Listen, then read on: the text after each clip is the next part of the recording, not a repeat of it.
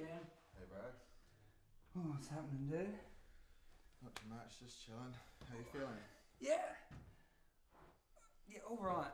Yeah. I had an, I had an interesting night last night. Okay. Yeah, so I was out and I was drinking in a bar, and I was just I was about to go home. I'd finished and I was walking down the street, and I met this babe, and I was just flew like just walking past, and she says she looks at me, and then we just start talking, and yeah, Nice. yeah. So met her, and then she was like, "Oh, do you want to go grab a drink?" So I go off and have a drink with her, and it's it was awesome.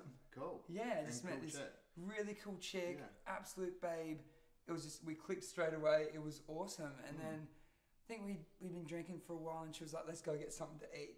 So I'm like, "Yeah, awesome. Let's go get some food." Just didn't want the night to finish up. Yeah. I was like, "Yeah, this is awesome." And we we have heaps of food. We have pies. We have kebabs. Like we just got on this full eating frenzy together, and it was hilarious I and like fun. this girl already. Yeah, man. And then we're walking down down this alleyway, and I sort of I trip over, Mm. and she bends over to help me up, and it was fully like some like corny romance movie moment where like she looks at me, I look at her, and it's Oasis is playing. yeah, in the background, Wo- Wonderwall comes on.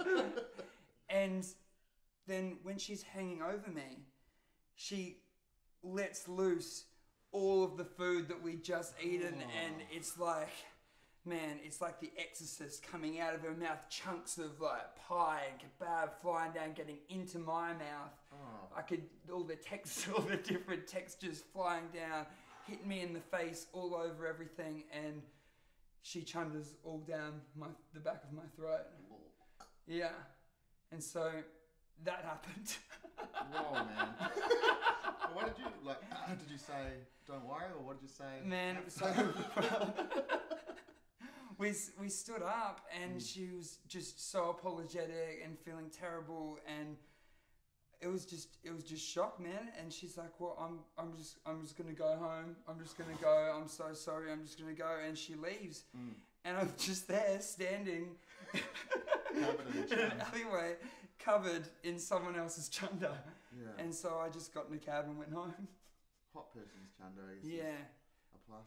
Yeah, we didn't exchange numbers or anything like that. It was that was it. This I, I guess when some things happen in life, that's the end of that chapter. I- like you found the- a moral for that. oh, yeah, I didn't Yeah. expect there to be a moral to that. But Yeah, you got to learn something from these things, Yeah. I guess. Well, on that note, I'm gonna go brush my teeth again. Actually, Yeah, bro, you do it. thanks, mate. All good.